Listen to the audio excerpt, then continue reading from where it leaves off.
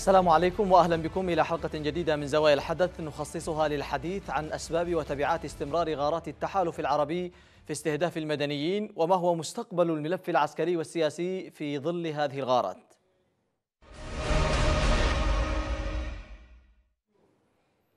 نظم شباب في تعز وقفة احتجاجية في منطقة العروس للتنديد بالغارات التي استهدفت موقعا خارج سيطرة ميليشيا الحوثي والمخلوع والتي تسبب بمقتل امرأتين وطفلة. وطالب المحتجون بسرعة الكشف عن ملابسات الحادثة وإطلاع الرأي العام على نتائج التحقيق مؤكدين أنهم قد يضطرون للتصعيد إن لم يتم توضيح ملابسات الغارة الجوية التي أودت بحياة المدنيين. في هذه الحلقة من زوايا الحدث نقف عند هذا الموضوع لنناقشه في محورين. إلى متى تستمر الغارات مستهدفة المدنيين؟ وهل حقق التحالف أهدافه أم أنه زاد الوضع تفاقما في اليمن؟ قبل النقاش نتابع هذا التقرير. ماذا يريد التحالف العربي في اليمن؟ سؤال لم يعد يحمل جهدا للبحث عن إجابة بعد أن باتت أخطاؤه غير المبررة بنظر مراقبين هي من تحدد ملامح التوجه الجديد. لتحالف طالما رفع شعار حماية الأمن القومي للخليج ولو كان ذلك على حساب تهميش قوانين الحرب ودماء الأبرياء في اليمن. فبقدر ما بدت الحرب والتدخل الخليجي بكل تعقيداته بروتوكولا حاملا للصفة الشرعية ذات حين إلا أنه وبحسب متابعين لم يخلو من المتناقضات السياسية التي تحركها أجندة داخلية وخارجية حجمت من شكل نقد الضربات وحولتها من كونها انتهاكات يذهب ضحيتها الأبرياء إلى مجرد ساحة إعلامية للمكايدات بين دول ودول أخرى. في الأمس غير البعيد استشهدت امرأتان وطفلة بقصف جوي لطائرات التحالف العربي بمدينة تعز بعد قصف موقع جبل العروس بثلاثة صواريخ وهي حادثة غير جديدة يذهب ضحيتها مواطنون. الحادثة التي حملت أبعادا كثيرة وإدانات أكثر قال عنها أبناء تعز إنها أتت في منطقة خالية من تواجد تحالف الانقلاب. وطالبوا بسرعة كشف ملابسات الحادثة وإطلاع الرأي العام على نتائج التحقيق مؤكدين التصعيد المستمر. الضربة يعني من التحالف. يعني هذا أمر لا شك فيه. الضربة مستحيل أن نقول عنها أنها خاطئة. هناك علامات استفهام كبيرة جدا. نحن كمجتمع مدني نستنكر ونستغرب من هذه الضربة التي أصيب أثرها أسرة بالكامل. دمرت هناك أشلاء الآن موجودة رأيناها. هناك هناك طفل هناك طفل لم لم يبقى له أثر حتى الآن. إحنا إحنا نستغرب يعني. إلى الآن التحالف لم يرد على هذه الضربة. ما سببها؟ ما الذي ما الذي جرى حتى أنه يستهدف أماكن خاصة بالشرعية؟ منظمة سام للحقوق والحريات قالت إن زيادة الكلفة الإنسانية والاجتماعية للغارات أصبحت باهظة على المدنيين كما أن استمرارها يسلب السكان أجواء العمل الآمن بحثا عن قوت أبنائهم مما يزيد تدهور الأوضاع الاقتصادية للمواطنين في ظل غياب الحماية وغياب قواعد واضحة للاشتباك. لم يتوقف دور التحالف العربي في اليمن عند مدى تحقيقه الأهداف العسكرية المعلنة فقد تجاوز ذلك بكثير. موظفا توجهاته في إدارة الملفات السياسية والاجتماعية الخاصة بالدولة اليمنية وتحديد شكل معين لحياة المجتمع في الداخل. مرت قرابة ثلاثة أعوام إذن وما يزال السؤال هل حقق التحالف أهدافه المعلنة أم أنه زاد الوضع سوءا في اليمن؟ حياكم الله مشاهدينا ونبدأ هذه الحلقة مع الناشطة الحقوقية داليا محمد. مرحبا بك أستاذة داليا. أهلا فيكم. قمتم اليوم بوقفة احتجاجية وزيارة إلى منطقة العروس التي تم استهدافها من قبل طيران التحالف. ما الذي يتموه من أضرار لحقت بهذه المواقع العسكرية وأيضا المدنيين؟ وما هو أو وما هي مطالبكم من هذه الوقفة الاحتجاجية التي نفذتموها اليوم؟ آه نعم نحن اليوم بدعوة من فريق شباب وشابات تعز وبمشاركة واسعة من من أهالي مدينة تعز. قمنا بتنفيذ وقفة احتجاجية في مكان قصف الطيران على مواقع الجيش الوطني بالعروس بصبير هناك شفنا حجم الألم حجم معاناة الأسر التي راحت. جراء تناثرها أشلاء في على تباب مرتفعات جبل صبير كنا اليوم هناك ما زلنا وجدنا بقية الأشلاء بقايا عظام بقايا شعر الموقف كان جدا مخيف جدا محزن. طبعا الوقفة كان الغرض من الوقفة إن إحنا ندين نستنكر. لا نسمح بأن تكون نحن نكون في تعز ملعب للجميع. الكل يتاجر فينا الكل يلعب بدماء بأشلائنا. آه، نحن في مدينة تعز قمنا بتنفيذ الوقفة الاحتجاجية استنكارا لما تم قصف آه، الطيران كما لموقع عسكري له تقر... له ما يقارب الثلاثة الأعوام محرر. ولا يوجد هناك أي مبرر أو أي داعي كي يتم قصفه. المكان بعيد كل البعد عن تواجد ميليشيات الحوثي وصالح. آه، أيضا ما الداعي ما المبرر لأن تنفذ ثلاث غارات متتالية على موقع صار محرز مثل ما قلنا له أكثر من ثلاث سنين. لذا نعم. نحن في مدينة لذا نحن في مدينة تعز. آه، جميعنا كمدنيين الكل من متواجد في تعز نطالب بالكشف والإسراع وعلى دول التحالف. لماذا الصمت من موقع الجريمة من أمس إلى اليوم؟ لم ترد لم تنطق حتى بحرف نريد آه، الكشف من قصف ومن المتسبب وتقديمه للمحاكمة للعدالة. نعم. نحن طيب. نعم. آه، أيضا آه، الأضرار التي وثقتموها ورصدتموها التي يعني استهدفها الطيران في العروس وأيضا الضحايا سواء الجرحى أو الشهداء. الأضرار سواء المادية هذه لا ما, ما نتكلم لا خلاص صارت عندنا ما نتكلم فيها لكن هي الأضرار البشرية. الأضرار البشرية هنا لا تعوض. لا يوجد قانون في العالم يعوض الضحايا, الضحايا المدنيين. يعني تخيل أب أو أسرة تروح بالكامل من يعوض؟ لكن إنما كجانب إنساني حقوقي نطالب الجهات المسؤولة والتحالف كونه هو المسيطر على الأجواء وهو المتحكم أن يظهر, للرأي العام يوضح لنا بالأول نحن أبناء تعز اللي لنا ثلاث سنين وإحنا نتصدى للقصف الممنهج والحصار من قبل ميليشيات الحوثي وصالح لكي يبهوا كمان اليوم يقصفنا. نحن ما رحبنا بالتحالف وما تحملنا الألم إلا لكي يخفف من جراحنا وليس لكي يعمقها. نعم. شكرا جزيلا لك الناشطة الحقوقية داليا محمد. كنت معنا من تعز ونشرك معنا في الحديث من مسقط الكاتب والباحث السياسي الدكتور عبد الله الغيلاني. مساء الخير دكتور عبد الله مساء الخيرات. مرحبا بكم جميعا. مرحبا بك. دكتور عبد الله يعني أنت من خلال متابعتك كيف تقرأ استهداف مواقع عسكرية تابعة للجيش الوطني بعيدة عن مناطق التماس بحوالي 20 كيلو متر منطقة آمنة محررة منذ ثلاثة أعوام؟ نعم بسم الله الرحمن الرحيم. آه هذا مما عمت به البلوى. آه مسألة تفاقم الحالة الإنسانية واتساع رقعة يعني استهداف المدنيين في هذه الأزمة يعني مسألة بدأت تتصاعد آه، يوما بعد آخر.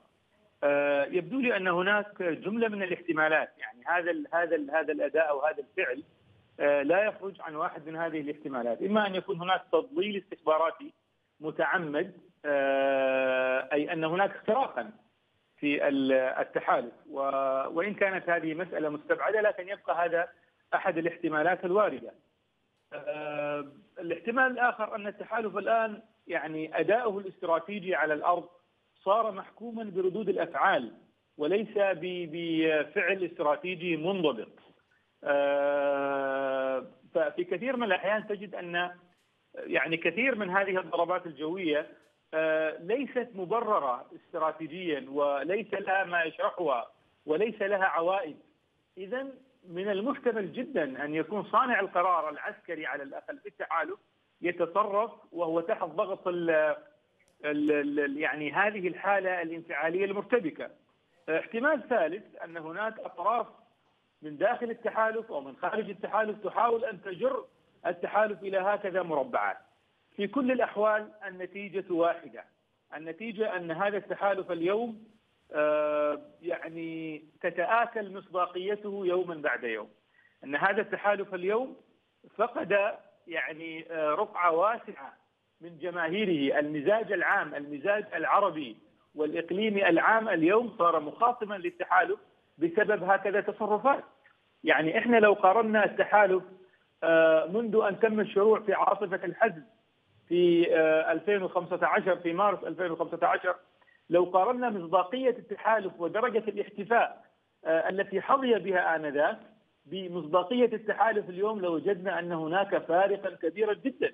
أنا أحسب أن نسبة لا تقل آه، من 70 إلى 80% من مصداقية التحالف قد تآكلت. ليس عند خصومه الأصليين وإنما عند المؤيدين. كثير من الناس الذين احتفوا بهذه بهذه الخطوة واعتبروها نقلة نوعية في الأداء الاستراتيجي الخليجي لأنه للمرة الأولى ربما منذ سنوات. نعم. آه يعني يقدم يقدم الخليجيون على هكذا عمل عاصفه حزم. آه أداء عسكري آه مميز. كان يتوقع له أن ينهي الأزمة في أسابيع أو في أشهر. اليوم التحالف حول هذه الجموع التي أبدت انتشاء واحتفاء بعاصفه الحزم حولها إلى جموع مخاصمة. الكل اليوم يطلب من التحالف أن يتوقف أو أن يرحل. نعم وفي حقيقة الأمر هذه هذه هذه مسألة مؤذية جدا آه، الخلاصه الخلاصة نعم. أن هذا الأداء المهتري وهذا الأداء المتآكل وهذا ال هذا ال هذا ال هذه ردود الأفعال هذه سوف تنعكس في جملتها على المسارات على المسارات الكلية للأزمة اليمنية وفي طليعتها الحل السياسي إذ كيف يمكن للتحالف أن يجلس على طاولة مفاوضات وأن يقدم حلولا سياسية وأن يفاوض الأطراف الأخرى الدولية والإقليمية وغيرها بهذه المصداقية المنهكة تماما والمنعدمة أو التي اقتربت من الانعدام. طيب فأقول أن هذا منعطف على التحالف أن يعيد النظر. نعم، دكتور من يخدمون بهذه الأفعال، هذه الأخطاء وهذا يعني آه، مثل ما ذكرت آه، تحول المزاج الشعبي الكبير الذي كان يؤيد عاصفة الحزم و آه، قاموا بهذه العاصفة على وجه التحديد المملكة العربية السعودية التي تقود هذا التحالف لصالح من يعملون. هل هم يخربون آه، بيوتهم بأيديهم كما يقول المثل؟ أنا آه، بالتأكيد يعني يعني ردود الأفعال أو العوائد من هكذا أفعال هي عوائد سيئة جدا على التحالف. ولكن إذا وضعنا الصورة في إطارها المجمل نجد أن التحالف أو الدول القائدة في التحالف تصنع الأزمات ثم لا تحسن الخروج من هذه الأزمات. وليس هذا من فعل العقلاء.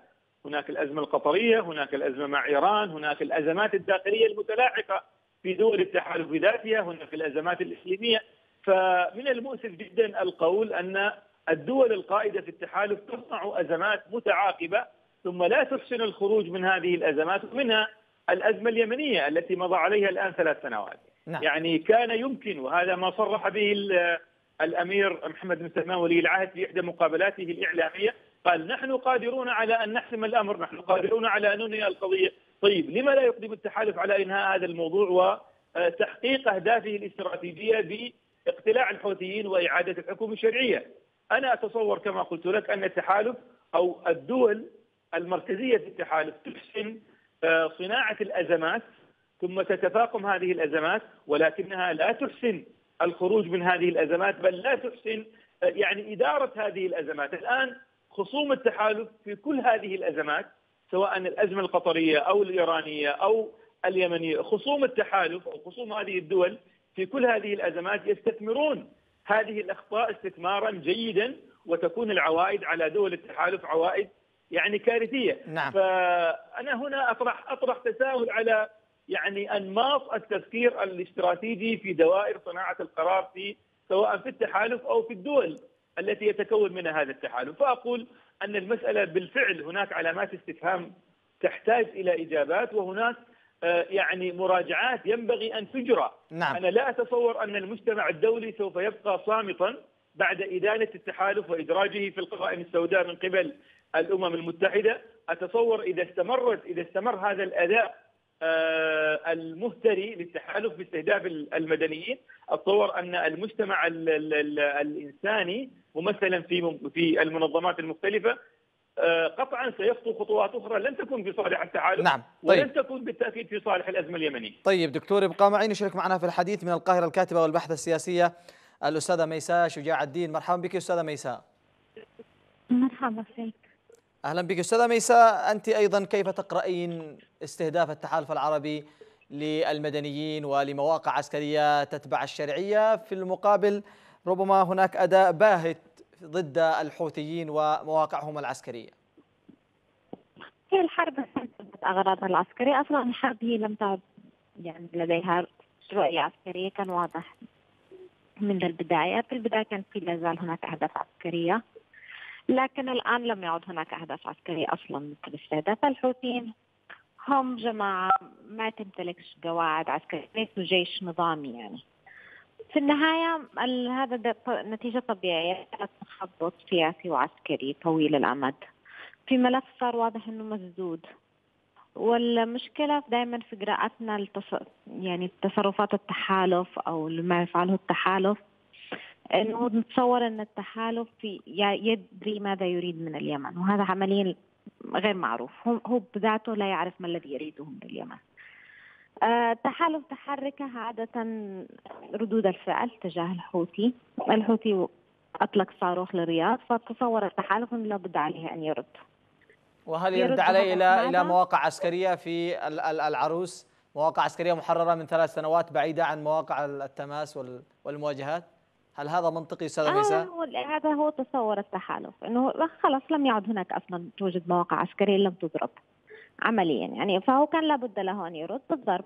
ضرب أين؟ ليست هذه المشكلة كانت المهم إنه يعود للضرب والضرب بشكل هستيري. لماذا أغلق التحالف منافذ اليمن البرية والبحريه والجويه لا لا يوجد سبب. من بينها مناطق تحت سيطرة قوات التحالف. لا يوجد سبب حقيقة. لا لا يوجد سبب غير إن التحالف بيتصرف كرد فعل. ورد فعل أحيانا انتقامي أهوج يعني أكثر من إنه رد فعل لديه استراتيجية. فهذا لها نتيجة طبيعية لغياب أي استراتيجية أو خطة لدى التحالف كيفيه إنهاء هذه الحرب أو كيفية التعامل مع نتائجها. يعني التحالف منذ فترة طويلة وهو تحت سيطرته مناطق الجنوب حتى الآن لم يستطع يديرها بشكل جيد. نعم. في فيما يخص يعني ال يعني البعض يعتبرها يعني في التحالف أنها أخطاء. هل يمكن أن تكون فعلا أخطاء أستاذة ميساء؟ يعني مواقع معروفة ومعلومة بهذه الصورة. وهل يمكن أن يمرروا مثل هكذا مغالطات على الناس وتصديقهم؟ أه، ايا كانت هي أخطاء بهدف الاستهتار أو هل هي أخطاء بهدف في أخطاء في الإحداثيات أخطاء لأنهم مستهترين في أرواح البشر فلا يعنيهم ضرب مناطق مكتظه سكانيا. هذه مش هنا المشكلة مش المشكلة في كونها أخطاء فقط المشكلة أنه غير أنه بيتسبب في كارثة إنسانية على الأرض داخل اليمن أنه بيتسبب كمان في استنزاف سمعته أمام العالم. فبالتالي لا أحد يدرك التحالف ما الذي يريده لأن هذا حتى ليس بصالح التحالف. إذا كان التحالف يعي مصالحه فعلا باليمن. ليس بصالحه أن يخلق عداوات مجتمعية واسعة في أرض ما, ما مصلحة أستاذة ميساء؟ مصلحة لهم. التحالف أن أن يخلق كل هذه العداوات كما تقولين.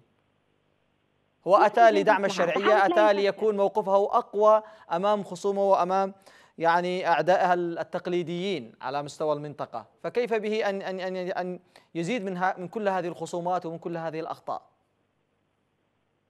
هو يزيدها من هذه الخصومات يزيد من خصوماتها داخل اليمن وهي بلد مجاور كثافة سكانية ضخمة وهذا وهذا لها ارتدادات على دول التحالف أولها السعودية.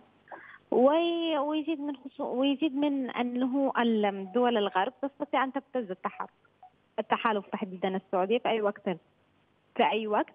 آه، نتيجة لأنها صارت لديها ملفات حقوق إنسان كبيرة ضدها. فبالتالي التحالف ليس مستفيد من أي ناحية من النواحي لا على مستوى صورتها الإعلامية بالخارج. نعم. ولا على مستوى معركتها داخل اليمن ولا على مستوى وضعها الدولي. لكن هذا دليل على أن التحالف لا يفكر. نعم. طيب أستاذ أعود للدكتور عبد الله الغيلاني. دكتور عبد الله آه، البعض يقول من المحللين السياسيين أو المراقبين بأن هناك عمل ممنهج لتوريط التحالف بالمزيد من الأخطاء والمزيد من الجرائم والمزيد من يعني آه، استهداف مدنيين وتشويه صورته أمام العالم، ما رأيك أنت بهذا الطرح؟ آه، أنا ذكرت هذا ضمن إحدى الاحتمالات، آه، الاحتمالات الثلاثه التي ذكرتها انفا قلت أن الاحتمال الثالث أن هناك اطرافا سواء في داخل التحالف ومن خارج التحالف تسعى إلى جر التحالف إلى هذه المربعات وعوائد هذه المربعات بالتأكيد لا تخدم التحالف في أهدافه الاستراتيجية المعلنة التي أعلنت منذ اليوم الأول لعاصفة الحزم. فهذا من ال من ال من الاحتمالات الوارده والقائمه. آه، التحالف اليوم وكما هو منذ أن بدأ يعني العمل العسكري بدأ هذه العملية العسكرية بغياب كل الرؤية السياسية. ونحن اليوم نجني ثمار غياب هذه الرؤية السياسية. لو كان هناك رؤية سياسية منضبطة ومتماسكة آه، ربما لما وصلت الأمور إلى ما وصلت إليه اليوم. ولكن غياب هذه الرؤية والاتكاء الكلي على عمل عسكري اتضح لاحقا أنه عبارة عن ردود أفعال ليست متماسكة وليست ممنهجة فاليوم نحن نجني آه، ثمار غياب هذه الرؤية السياسية. هذا من ناحية. من ناحية أخرى يبدو لي أن التحالف اليوم يعني منشغل كثيرا. يعني أكثر الجهد المالي والسياسي والأمني اليوم ينصب على إعادة إنشاء أو إعادة تشكيل الواقع في المناطق الجنوبية والمناطق الشرقية من اليمن، هناك واقع جديد اليوم يتشكل على يد التحالف سواء على المستوى الأمني أو السياسي أو الاجتماعي، فالتحالف يبدو أنه آه، يعني يضع كل جهوده المالية والعسكرية والسياسية في إنشاء هذا الواقع الجديد بعيدا عن الأهداف الرئيسية المتمثلة في نعم. آه العودة إلى ما قبل آه سبتمبر 2014 نعم. كل هذه التداعيات غياب الرؤية السياسية الانشغال ب يعني أجندات أخرى غير الأجندة الرئيسية آه, آه، يعني تنعكس على شكل هذه الأفعال العسكرية الغير منضبطة والتي يذهب ضحيتها المدنيون نعم اذا اذا من من خلال ما تحدث دكتور وما ما يقوله الكثير أن هناك طرف في التحالف يعمل على توريط الطرف الآخر ليستفيد هو من من من كل هذه من إجمال هذه الأخطاء. أنا أقول نعم هذه إحدى الاحتمالات. يا أخي الكريم بعد كل هذه التجارب بعد كل هذه السلسلة من الاستهدافات المدنية لا يمكن القول أن هناك أخطاء. نحن نحن نتحدث عن دول إقليمية كبرى. لديها قدرات استخباراتية لديها إمكانات آه، في تحديد الأهداف والمواقع آه، يمكن أن يكون الخطأ في مرة أو مرتين أو ثلاث إلى آخره. لكن أن يصل الأمر إلى هذا الحد ويصبح هذا هو الأصل يعني يعني يعني كأنه صار الأصل الآن هو استهداف المدنيين. آه علي عبد الله صالح وحلفائه الحوثيين صاروا بمنأى عن ضربات التحالف لم يمسسهم سوء هم بعيدين عن هذا عن هذا الإيذاء العسكري. فليس لك أن تقول أن هذه أخطاء. يعني لا يمكن لدول إقليمية كبرى بهذه الإمكانات الاستراتيجية والاستخباراتية أن تتتابع أخطاؤها على هذا النحو الذي يبدو أنه ممنهجا. وبالتالي لا مفر من القول إما أن يكون هناك تضليل استخباراتي متعمد أو أن هناك أطراف من داخل التحالف أو خارجه تسعى إلى جر التحالف إلى هذه المربعات وبالتالي توريطه آه يعني نعم. في سياقات معينة تملى عليه حلول سياسية معينة في لحظات استثنائية معينة نعم. آه، لكني أقول آه، يعني في كل الأحوال التحالف لا يزال يملك الفرصة لا يزال قادرا على الخروج يعني من هذا المأزق وتحسين الأداء ولكن بغير أن يقترح رؤية سياسية متكاملة فأخشى أن الأمور آه، تسير في هذه نعم. في هذه المسارات. طيب طيب أستاذة ميساء شجاع الدين آه، باعتقادك الآن كيف تقرأي مستقبل اذا العلاقة بين الحكومة الشرعية والرئاسة اليمنية والتحالف إذا ما استمرت هذه الأخطاء بهذه الصورة المتعمدة والواضحة؟ لا أعتقد أن الشيء سيتضرر، الحكومة اليمنية آخر شيء يشغل بالها هو المواطن اليمني. ولا أتصور منها أي رد فعل من أي نوع يعني. فواضح إنه ما فيش أي رد فعل وأنت بتتكلم على حليف ضعيف للتحالف حليف داخلي ضعيف جدا للتحالف اللي هي الحكومة وهي مشغولة بجمع الأموال كما هو واضح. لم يعد هناك مجال للحديث عن يعني عن الحكومة وعن أدائها وعن رداءة أدائها. هذا صار أمر معروف ولا يمكن الدفاع عنه. فبالتالي ما تصورش إنه في شيء سيتغير. الحكومة صارت تعمل بمنطق الشيكات المدفعة مدفوعة من التحالف وهذا كل الذي يعنيها وهي غير معنية أصلا بالعودة إلى البلاد أو بإصلاح الوضع ولا كان بإمكانها أن تفعل الكثير في خلال الفترة الماضية. شكرا جزيلا لك الكاتبة والباحثة السياسية الأستاذة ميساء شجاع الدين وعودة أخيرة للدكتور عبد الله الغيلاني، دكتور عبد الله أيضا أنت كيف آه، تقرأ أو تقيم مستقبل العلاقة بين الحكومة الشرعية والتحالف العربي في ظل استمرار هذه الأخطاء وهذا ربما عدم الجدية في حسم المعركة في اليمن؟ يبقى السؤال يبقى السؤال الآن هل الحكومة الشرعية لا تزال تمثل يعني الضمير الجمعي اليمني؟ هل لا تزال تنطق باللسان الجمعي اليمني؟ آه سؤال آخر هل للحكومة من أمرها شيء؟ آه أم أن الحكومة يعني آه في حالة ارتهان كلي وفي حالة غياب للإرادة ولا تستطيع أن تغير من الأمر شيء، أنا أتصور أن الحكومة الآن بوضعها الحالي لم تعد تمثل يعني الضمير الجمعي اليمني الذي أيدها ودعمها وساندها وفوضها للتصرف في المصلحة اليمنية العليا، لم تعد هذه الحكومة في تقديري قد أكون مخطئا ولكن قراءتي للمشهد أن الحكومة اليوم بأوضاعها الحالية لم تعد تمثل الضمير الجمعي اليمني من ناحية ومن ناحية أخرى أيضا لم تعد تمتلك القدرة والإرادة على أن تحدث تحولا في مسار يعني الأزمة لا على المستوى السياسي ولا على المستوى العسكري ولا على المستويات الاجتماعية والاقتصادية والإنسانية والمعيشية الأخرى. وبالتالي نحن أمام انسداد في الأفق. وأحسب أن هذه لحظة استثنائية يتحمل التبعه كامله فيها والمسؤولية التاريخية كاملة فيها الشعب اليمني. فعلى الشعب اليمني الآن أن يدرك يعني خطورة هذه المرحلة وانسداد الأفق وخطورة هذا المنعطف. عندما نقول منعطف معنى ذلك أن له ما بعد أن هناك اتجاه آخر ينبغي أن يتحدد في مرحلة ما بعد هذا المنعطف.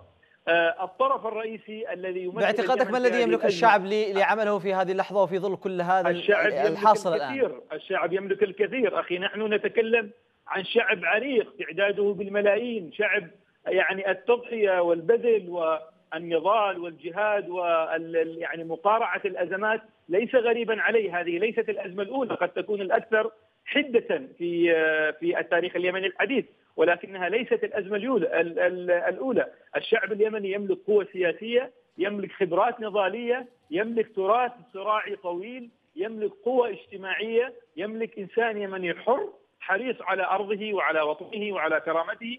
فالشعب اليمني يملك ثروة هائلة. لكن هذه الثروة اليوم مبعثرة مبددة.